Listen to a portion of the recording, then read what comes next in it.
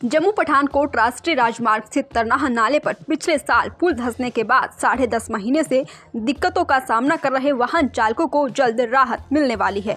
बता दें कि नाले पर बन रहे नए पुल का काम मई महीने के अंतिम सप्ताह में खत्म हो जाएगा, जिसके बाद आवागमन शुरू हो जाएगा। पुल के ज्वाइंट और गैलरी का काम शुरू होते ही इस पर तारकोल डालने का काम किया जाएगा। इसके बाद वाहनों की आवाजाही शुरू हो जाएगी। वहीं धसे पुल की मरम्मत में भी अभी और समय लग सकता है। इस पुल के धसे पिलरों को तैयार कर दिया गया है, लेकिन अभी भी बहुत काम बाकी है। बरसात में पहले इस नाले पर नए पुल के निर्माण से लोगों को बड़ी राहत मिलेगी।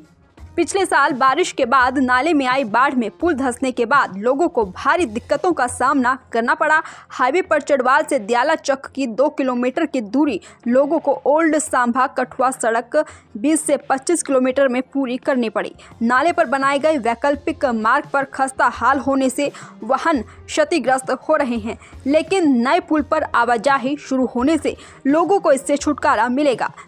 दैनिक सवेरा के लिए जम्मू से सर्वजीत की रिपोर्ट।